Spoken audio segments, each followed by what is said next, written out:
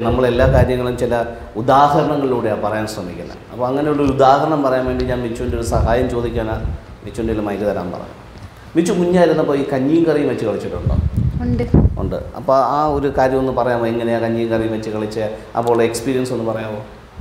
കഞ്ഞിയും കറിയും വെച്ച് കളിച്ച് എങ്ങനെയാണോ ആ. അതെന്താ?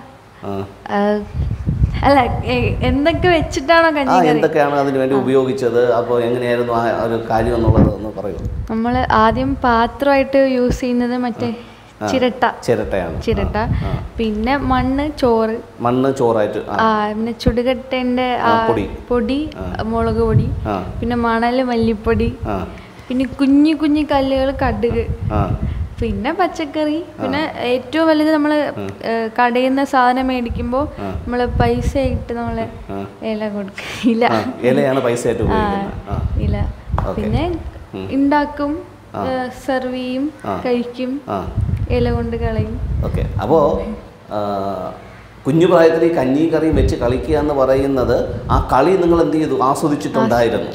പക്ഷേ ആ കളിയിലൂടെ നിങ്ങൾ ഉണ്ടാക്കിയ ചോറോ അല്ലെങ്കിൽ കൂട്ടാനോ അല്ലെങ്കിൽ ബാക്കി എന്തെങ്കിലും ജ്യൂസോ ഒക്കെ നിങ്ങൾ കഴിച്ചിട്ടുണ്ടോ? ഇല്ല. കഴിക്കുന്നത് പോലെ എന്ത് ചെയ്യും?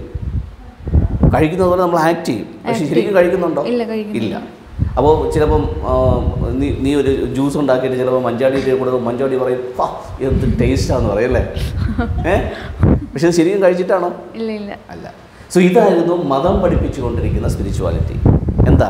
ആക്ട് ചെയ്യാനായിട്ട് പഠിപ്പിക്കുന്നു അത് ബീന സിസ്റ്ററിന് ഞാൻ ഈ പറഞ്ഞ എക്സാമ്പിളുമായിട്ട് ചർച്ചിനകത്തുള്ള ആത്മീയതയെന്ന് ആസ്വാദനം ഉണ്ടായിരുന്നോ അതോ ഇതുപോലെ ആക്ടിങ് ആയിരുന്നോ എന്ന് പറയാൻ പറ്റുമോ എന്നെ സംബന്ധിച്ച് പറഞ്ഞാൽ. പള്ളിയിൽ പോയി എന്നല്ലാണ്ട് ഒന്നും ഈ കഞ്ഞിയും കറിയും വെച്ച് കളിച്ചിട്ടില്ല ആ കഞ്ഞിയും കറി വെച്ച് കളിച്ച പോലെ ആ. അത് തന്നെ. കഞ്ഞിയും കറി വെച്ച് കളിക്കലായിരുന്നു. അല്ലാണ്ട് ഒന്നും നമുക്ക് കഴിക്ക കഞ്ഞിയും കറി വെച്ച് കഴിക്കുന്നില്ലല്ലോ. അതുപോലെ ഇത് ചുമ്മാ ഇങ്ങനെ പഠിച്ചു വെച്ചേക്കുന്ന കേക്കുന്നു കേൾക്കുന്നു ആ നമ്മളതിനങ്ങോട്ട് താളത്തിന് തുള്ളുന്നു എന്നല്ലാതെ ഒന്നും കിട്ടിയിട്ടില്ല. അതെ. അപ്പോൾ നേരത്തെ പറഞ്ഞതുപോലെ ഒരു ഒരു കഞ്ഞിയും കറിയും വെച്ച് കളിക്കുമ്പോൾ ഒരു ജ്യൂസ് ഉണ്ടാക്കി മഞ്ചാടി കൊടുത്ത മഞ്ചാടി പാവ് എന്ന് പറഞ്ഞതുപോലെ അച്ഛൻ പറയുന്നത് നമ്മൾ അതെ പറയുന്നു.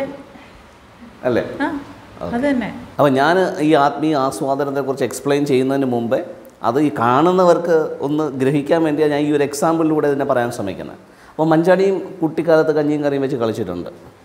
ഉണ്ട്. ആസ്വദിച്ചിട്ടുണ്ട്. നല്ല രീതിയിൽ അത് എൻജോയ് ചെയ്തിട്ടുണ്ട്. പക്ഷേ എന്ത് ചെയ്തിട്ടില്ല? അത് ശരിക്കും ആസ്വദിച്ച് കഴിച്ച് അതിന്റെ ടേസ്റ്റ് എന്താണെന്നുള്ളതോ ഒന്നും മനസ്സിലാക്കിയിട്ടില്ല.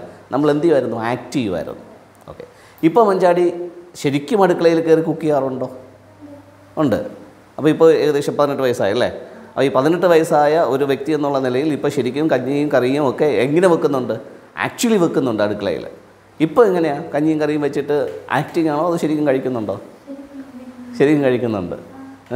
ഇപ്പോഴാണ് മനസ്സിലായത് ഉപ്പിച്ചിരി കൂടിപ്പോയ പ്രശ്നമാണ് ഉപ്പിച്ചിരി കുറഞ്ഞു പോയ പ്രശ്നമാണ് എന്നൊക്കെ മനസ്സിലായത് ഇപ്പോഴാണ്. അപ്പോൾ ശരിക്കുമുള്ള ആസ്വാദനം തുടങ്ങിയപ്പോൾ അതിനകത്തുള്ള പോരായ്മകൾ എന്താണെന്നും അതിനകത്തുള്ള നല്ല വശങ്ങൾ എന്താണെന്നും ഒക്കെ നമ്മൾ രുചിച്ചും മണത്തുമൊക്കെ ശരിക്കും ആസ്വദിക്കാൻ തുടങ്ങി. സോ ഇതുപോലെയാണ് റിലീജിയസ് ആയിട്ടുള്ള രീതിയിൽ നമ്മൾ നിന്നിട്ട് നിന്നിട്ടുള്ള ആ സമയത്തുള്ള ആത്മീയ ആസ്വാദനമെല്ലാം എന്തായിരുന്നു? അഭിനയമായിരുന്നു. പ്രാർത്ഥിക്കുമ്പോൾ പ്രാർത്ഥിക്കുമ്പം. ആ എന്തൊക്കെയോ സംഭവിക്കുന്നുണ്ട്.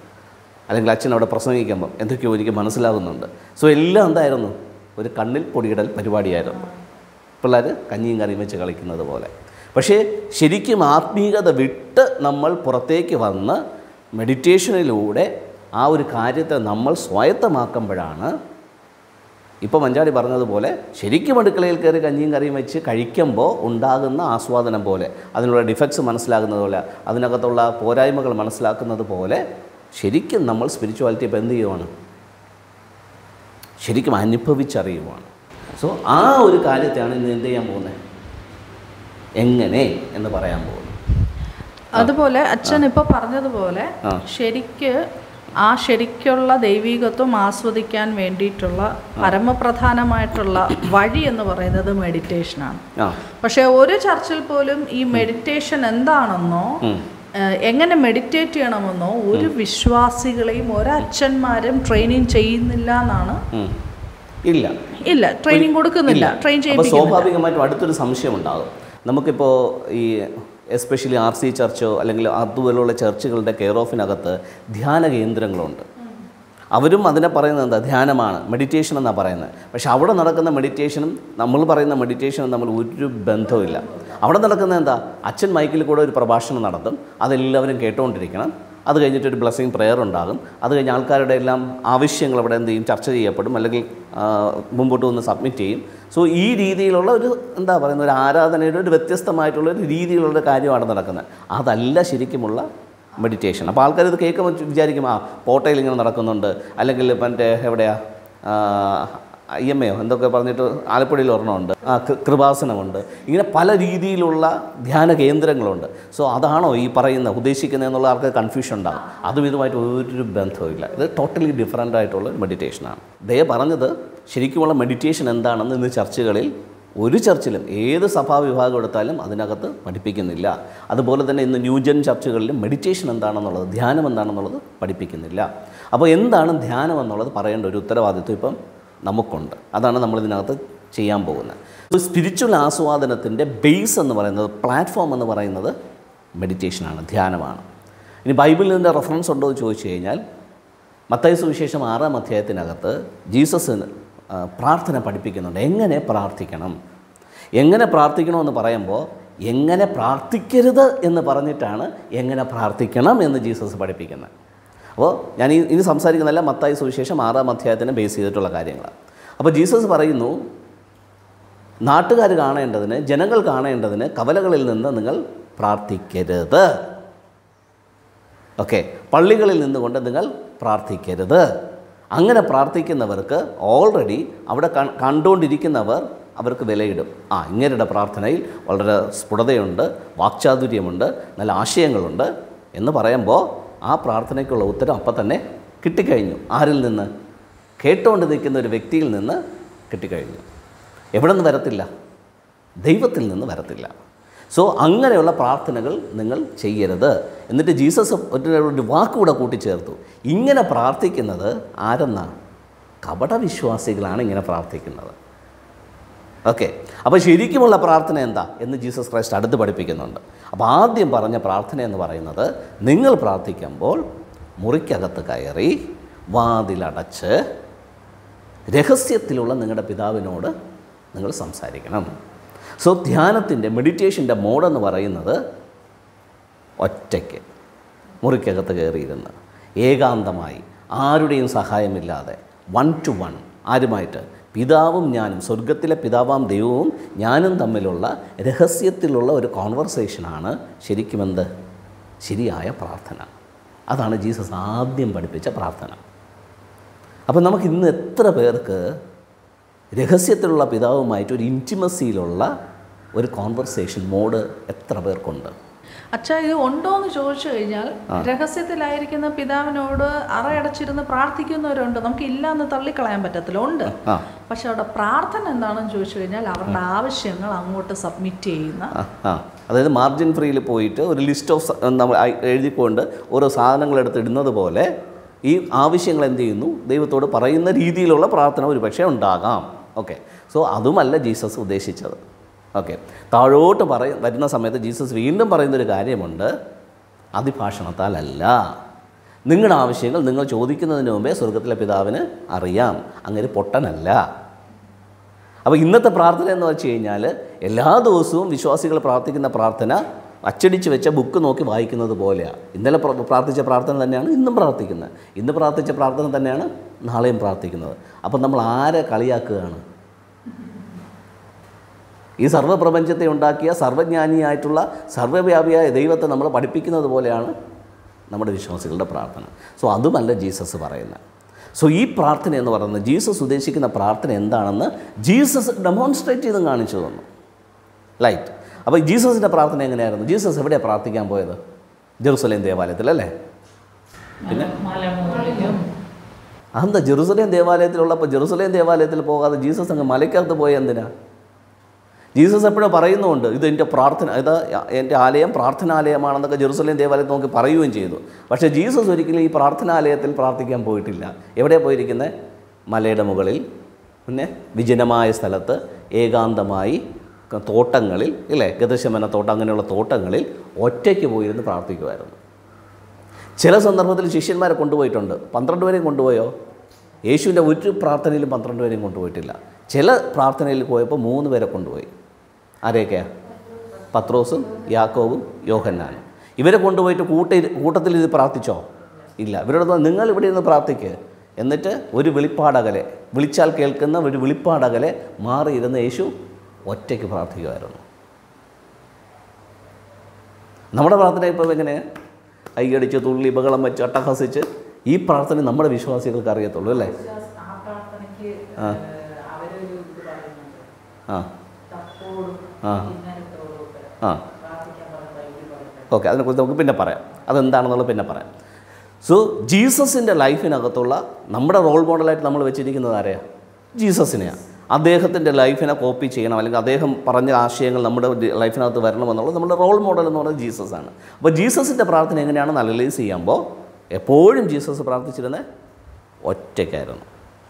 റൈറ്റ് ഇനി പ്രാർത്ഥിക്കാൻ തിരഞ്ഞെടുത്ത സമയം വളരെ ഇമ്പോർട്ടന്റ് ആയിട്ടുള്ളൊരു കാര്യമാണ്. ജീസസ് പ്രാർത്ഥിക്കാൻ തിരഞ്ഞെടുത്തിരുന്ന സമയം പകൽ സമയമല്ല. ഡേ ടൈം അല്ല.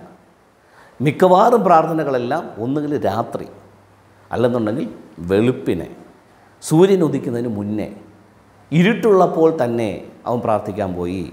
സന്ധ്യാസമയത്ത് അവൻ പ്രാർത്ഥിക്കാൻ പോയി എന്നൊക്കെ ബൈബിളിൽ പറഞ്ഞിരിക്കുന്നത് സോ ഡേ ടൈമിനകത്തുള്ള തിരക്കുകളൊക്കെ കഴിഞ്ഞ് ഒന്ന് അന്തരീക്ഷം ശാന്തമാകുമ്പോൾ പ്രകൃതി ശാന്തമാകുമ്പോൾ ആ ജോലിയുടെ തിരക്കൊക്കെ കഴിഞ്ഞ് അങ്ങനെ കാമൻ കൊയറ്റാറ്റിരിക്കാൻ ഇരിക്കാൻ പറ്റുന്ന സമയത്ത് മാത്രമേ ജീസസ് പ്രാർത്ഥിക്കാനായിട്ട് സമയം ചെലവഴിഞ്ഞിട്ടുള്ളൂ. ഇനി ജീസസ് പ്രാർത്ഥിക്കുമ്പോൾ എത്ര സമയം പ്രാർത്ഥിച്ചിരുന്നു? അഞ്ച് മിനിറ്റ്. പത്ത് മിനിറ്റ്. മണിക്കൂറുകൾ മണിക്കൂറുകൾ മണിക്കൂറുകൾ പ്രാർത്ഥിക്കാനായിട്ട് ഇത്ര എന്താ ഉള്ളേ? ജീസസിന് പ്രത്യേകിച്ച് അങ്ങനെ ഒരു ഒരു ആവശ്യവുമില്ല. ഭാര്യ ബൈബിളിന്റെ പശ്ചാത്തലത്തിൽ ഭാര്യയില്ല കുഞ്ഞുങ്ങളില്ല ജീവിത പ്രാരാബ്ധമില്ല അപ്പനെ നോക്കണ്ട അമ്മയെ നോക്കണ്ട സഹോദരന്മാരെ നോക്കണ്ട ജീസസിനെ സംബന്ധിച്ചിടത്തോളം ജീവിത പ്രാരാബ്ധം ഉള്ളതായിട്ട് ബൈബിൾ പറയുന്നില്ല. അപ്പോൾ പിന്നെ എന്ത് വേണ്ട? അതെ ആ പ്രാർത്ഥന എന്താണെന്നുള്ളത് നമ്മൾ നോക്കാൻ പോകുന്നത്. അതാണ് ശരിക്കുമുള്ള ധ്യാനം. ജീസസിന്റെ ലൈഫിനകത്തുള്ള പ്രെയറാണ് ശരിക്കുമുള്ള മെഡിറ്റേഷൻ അല്ലെങ്കിൽ ധ്യാനം എന്ന് പറയുന്നത്. സോ സ്പിരിച്വൽ ആസ്വാദനം കിട്ടണമെന്നുണ്ടെങ്കിൽ ജീസസ് എപ്പോൾ നോക്കിയാലും പ്ലസന്റ് ആയിരുന്നു. എപ്പോഴും ചൈതന്യത്തോടു കൂടെ ഇരിക്കുമായിരുന്നു എപ്പോഴും ഡൈനാമിക്കായിട്ടിരിക്കുമായിരുന്നു ആരുടെ എന്ത് പ്രശ്നങ്ങളും കേട്ടാലും ഡള്ളാകത്തില്ല അതിനപ്പം തന്നെ സൊല്യൂഷൻ കൊടുക്കുമായിരുന്നു സോ എപ്പോഴും ഒരു പ്ലസന്റ് ആയിട്ടുള്ള ഒരു വ്യക്തിയായിട്ട് മാറാൻ കാരണമെന്ന് പറയുന്നത് അദ്ദേഹത്തിന്റെ ഈ മെഡിറ്റേഷൻ അദ്ദേഹത്തിന്റെ പ്രാർത്ഥന ടൈമായിരുന്നു ഓക്കെ സോ അതെങ്ങനെയാണെന്ന് നമുക്ക് പ്രാക്ടീസ് ചെയ്യാൻ പറ്റിയ നമുക്ക് മാറായി മാറാൻ പറ്റും? ജീസസിനെ പോലെ ഒരു വ്യക്തിത്വമായിട്ട് നമുക്ക് മാറാൻ പറ്റും. സോ നമ്മൾ പ്രാക്ടീസ് ചെയ്യുന്നത് അങ്ങനെയുള്ളൊരു സ്പിരിച്വൽ ലൈഫാണ് നമ്മുടെ ശരിയായിട്ടുള്ള സോഴ്സ് എന്ന് പറയുന്നത് നമ്മുടെ ലൈഫിന്റെ ഏതിന്റെ ഏത് ലൈഫിന്റെ സ്പിരിച്വൽ ലൈഫിന്റെ സോഴ്സ് എന്ന് പറയുന്നത് അല്ലെങ്കിൽ എനർജി സെന്റർ എന്ന് പറയുന്നത് മെഡിറ്റേഷനാണ് അപ്പോൾ എത്രത്തോളം നമുക്ക് മെഡിറ്റേഷനിൽ സ്പെൻഡ് ചെയ്യാൻ പറ്റുമോ അത്രത്തോളം നമ്മൾ ആ സ്പിരിച്വൽ ലൈഫ് നമുക്ക് ആസ്വദിക്കാൻ പറ്റുമെന്നുള്ളതാണ് എന്റെ സത്യം. അച്ഛാ ഇന്നും ഒരു കാറ്റഗറി ഓഫ് പീപ്പിൾ മെഡിറ്റേഷൻ എന്ന് പറയുമ്പോൾ അത് ഹൈന്ദവർക്ക് മാത്രമുള്ള ഒരു സാധനമാണ് അല്ലെങ്കിൽ ബുദ്ധിസ്റ്റിന് മാത്രമുള്ള സാധനമാണെന്ന് വിശ്വസിക്കുകയും വിശ്വസിപ്പിക്കുകയും ചെയ്യുന്ന ഒരു സമയമാണ് അപ്പം അതിന് അച്ഛൻ എന്താ പറഞ്ഞു കൊടുക്കാൻ പറ്റുന്നത്? ഇപ്പം ജീസസിന്റെ ലൈഫ് നോക്കിയാൽ മതിയല്ലോ. നമുക്ക് വേറെ എന്താ വേറെ എന്താ റിസർച്ച് ഒന്നും നടത്തേണ്ട ആവശ്യമില്ല. ബൈബിളിനകത്ത് ജീസസ് എന്ത് ചെയ്തു എന്നുള്ളത് ഒന്ന് കീനായിട്ട് ഒബ്സർവ് ചെയ്താൽ മാത്രം മതി. ആ ജീസസിന്റെ പ്രെയർ സ്റ്റൈൽ നമ്മളും അഡോപ്റ്റ് ചെയ്യുമ്പോൾ ഈ കാര്യം ഫുൾഫിൽ ആകും. ജീസസിന്റെ പ്രാർത്ഥനകളൊന്നും ബൈബിളിനകത്ത് ഇങ്ങനെയായിരുന്നു ജീസസ് പ്രാർത്ഥിച്ചതെന്ന് പറഞ്ഞ് എക്സാമ്പിൾ പറഞ്ഞിട്ടില്ല. അതായത് ജീസസിന്റെ പ്രാർത്ഥന വെർബലി ആയിരുന്നില്ല. കാരണം ജീസസ് വെർബലി പ്രാർത്ഥിച്ച പ്രാർത്ഥന ഒന്ന് രണ്ടെണ്ണം ശിഷ്യന്മാർ കേട്ടത് എഴുതി വെച്ചിട്ടുണ്ട്. കർത്താവെ കഴിയുമെങ്കിൽ ഈ പാനപാത്രം ഒന്ന് നീക്കിത്തായോ? എന്ന് പ്രാർത്ഥിച്ചത് ശിഷ്യന്മാർ കേട്ടു. അത് എഴുതി വെച്ചിട്ടുണ്ട്. സോ ഇങ്ങനെ ചില കാര്യങ്ങൾ വെർബലി പ്രാർത്ഥിച്ചത് ശിഷ്യന്മാർ എഴുതി. ബാക്കി ഒന്നും ജീസസിന്റെ വായിലൂടെയുള്ള അധര അധരത്തിലൂടെ ഒന്ന് പ്രാർത്ഥന ആയിരുന്നില്ല അപ്പോൾ എന്തായിരുന്നു ഈ മണിക്കൂറുകൾ ജീസസ് സ്പെൻഡ് ചെയ്തുകൊണ്ടിരുന്നത്? അവിടെ നിന്ന് ഉറങ്ങിയോ? അപ്പോൾ ആ കാര്യത്തെ അനലൈസ് ചെയ്യുമ്പോൾ നമുക്ക് മനസ്സിലാകും ജീസസ് പ്രയർ ടൈമിൽ സ്പെൻഡ് ചെയ്തിരുന്നത് എന്ന് പറയുന്നത് പ്രോപ്പറായിട്ടുള്ള മെഡിറ്റേഷൻ തന്നെയായിരുന്നു. അപ്പോൾ മെഡിറ്റേഷൻ ചെയ്യുന്ന ഒരു വ്യക്തിക്ക് മാത്രമേ സ്പിരിച്വൽ ലൈഫ് ആസ്വദിക്കാൻ പറ്റുള്ളൂ എന്ന് പറയുന്ന റൂൾ നമ്മൾ നമ്മുടെ ലൈഫിനകത്ത് അപ്ലൈ ചെയ്യണം. മെഡിറ്റേഷൻ ഉണ്ടെങ്കിൽ മാത്രമേ സ്പിരിച്വൽ ലൈഫ് സ്റ്റാർട്ട് പോലും ചെയ്യത്തുള്ളൂ. അല്ലാത്തൊരു വ്യക്തിക്ക് സ്പിരിച്വൽ ലൈഫ് സ്റ്റാർട്ട് ചെയ്യാൻ പറ്റില്ല.